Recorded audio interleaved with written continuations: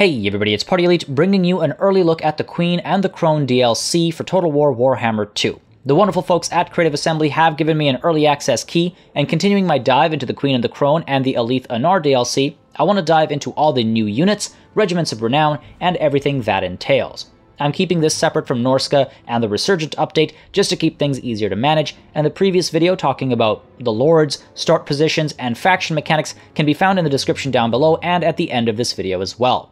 Timestamps and links can also be found in the description below, and one final note, when looking at unit stats, you'll be seeing large unit settings based on requests I've seen from you, especially in the multiplayer community. Now, let's get started with the High Elves. Apart from the addition of Alarielle and Alith Anar, who we looked at in the previous video, we also see the addition of a new hero, the Handmaiden of the Everqueen. With middling armor but decent melee attack and defense stats, we see a unit that can hold their own in melee if needed, anti-large in melee with 110 points of armor-piercing damage and a bonus of 35 versus large, you might send them in to finish the job every once in a while, or if you run out of the magical fire damage ammunition that can fire from a great range and cause a great deal of damage, including 125 points of armor piercing. 15% missile resistance, charge defense against large, martial prowess, and foe seeker all help with survivability.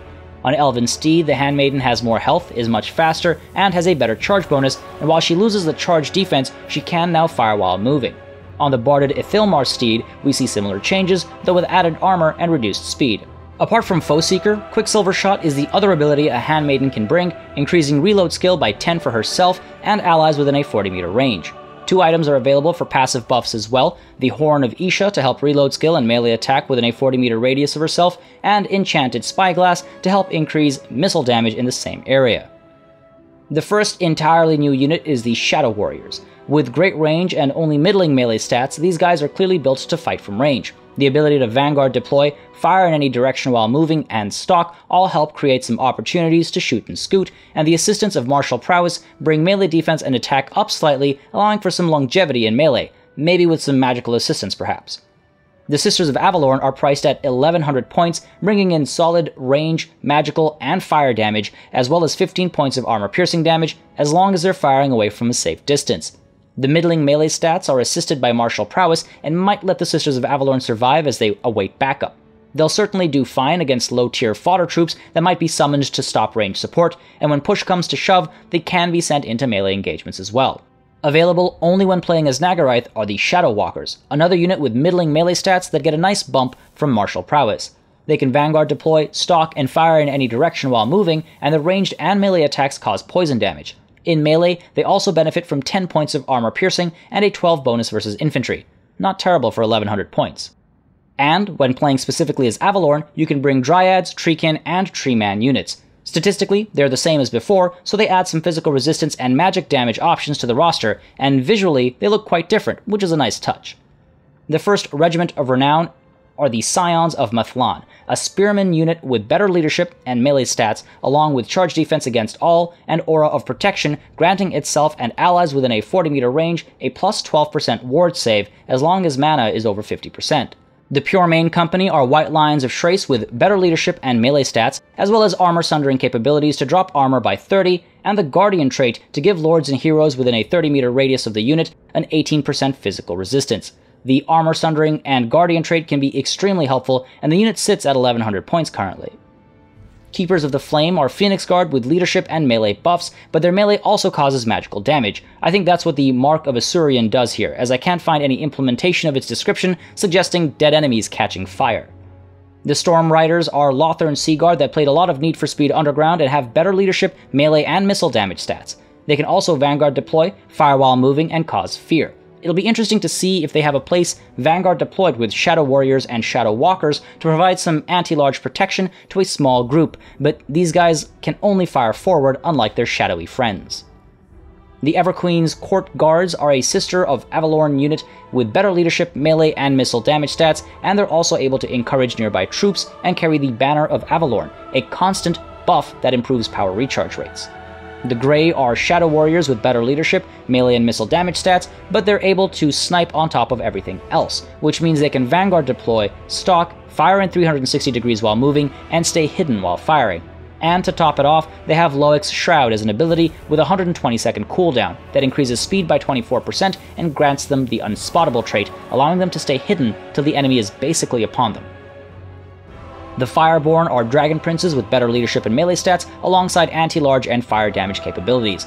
The bonus versus large is 18 points, and at 1900 points, the High Elves finally have an anti-large cavalry unit. Heralds of the Wind are Ellyrian Reaver archers with better leadership, melee, missile damage, speed, and charge bonuses, making them significantly more viable in melee, especially with martial prowess active. They can now move in for effective flanking maneuvers, and with higher speeds, they will enable quicker hit and run executions.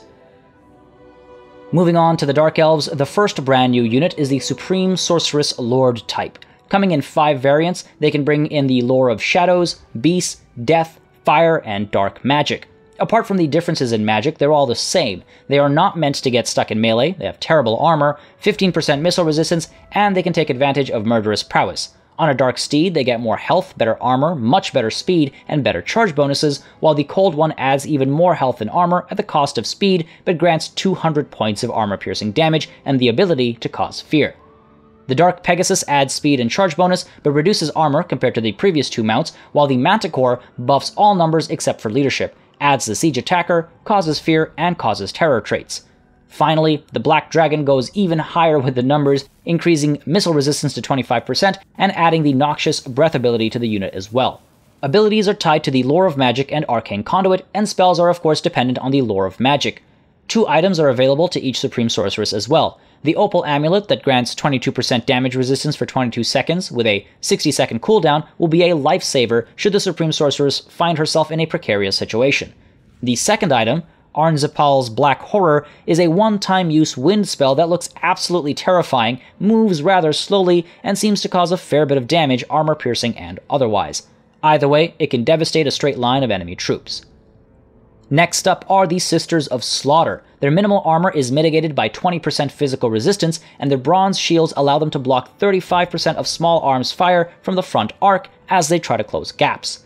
They are similar to, but slightly better than Witch Elves in every regard, though they have a much higher melee defense stat, and they replace the Madness of Khaine for regular poison damage, removing anti infantry bonuses, and rather than Frenzy, they come in with the Trial of Blades ability that recharges over 3 seconds when losing combat, and activates for 15 seconds when in melee, giving the unit slightly more armor piercing damage and buffing melee attack by 9. Doomfire Warlocks are here to add some magical damage and more poison to Dark Elf Cavalry, able to move very quickly, but most certainly wanting to stay out of prolonged melee combat with their middling to low melee stats and terrible armor, though the latter is mitigated by a 40% physical resistance. These guys might start becoming a bit of a staple against the likes of Skaven and Wood Elves, and their access to two charges of Soul Blight and Lesser Doombolt with 90 second cooldowns each certainly adds some more punch to the unit. There's also the addition of the Feral Manticore, unless I'm horribly mistaken, and statistically it is the same as any other Feral Manticore. The first regiment of renown to discuss are the Helebroni Dreadspears, or I guess the Helebronis, I don't. With better leadership and melee stats, they also cause poison damage and get expert charge defense, giving charge defense against all enemy unit types. The Sisters of the Singing Doom are witch elves with better leadership and melee stats, alongside the ability to cause fear and terror. So now, not only can they cause the madness of Khaine among units they're fighting, but they can also terrify other nearby units at the same time, allowing them to really tear apart at enemy lines. Blades of the Blood Queen are Har Ganeth executioners with better leadership and melee stats, alongside Frenzy and the Guardian trait, making them a lot more deadly when leadership is above 50%, and also giving them a chance to keep lords and heroes alive. The Bolt Fiends are Dark Shards with shields that have better leadership, melee, missile damage, and range stats, and also get access to Murderous Mastery for better benefits, and have the Shield Breaker trait on ranged fire, which reduces enemy shielded missile parry by 24. Slaanesh's Harvesters are Doomfire Warlocks with better leadership and melee stats, and they replace the two bound spells with the Word of Pain and Soul Stealer. The former, with two uses and a 90 second cooldown, is a great way to reduce enemy melee attack by 44 and accuracy by 60%, and the one use of the latter, meanwhile, is a great way to replenish hit points while hurting the enemy. Suitably Slaaneshi. Knights of the Ebon Claw are Dread Knights with, you guessed it, better leadership and melee stats alongside Murderous Mastery in place of Prowess, and removal of the Primal Instincts trait. That's extremely helpful for just 300 more points than the regular variant that can easily lose control.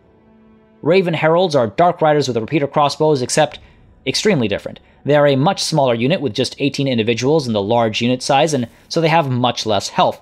They do have better leadership, speed, melee, and missile damage stats, however, and they are also up in the air, so they're nothing like Dark Riders with repeater crossbows at all, really. And finally, the Chill of Sontar is a War Hydra that has better leadership and melee stats, alongside the Frostbite ability in melee and Frost Breath as its breath attack. So it's very similar to the Hydra, only cooler. And that covers all of the new units and regiments of renown from the Queen and the Crone, as well as the Alith Anar free DLC. There is a ton of new stuff to play with, and there's still the matter of the secret Dark Elf monstrosity that we know nothing about.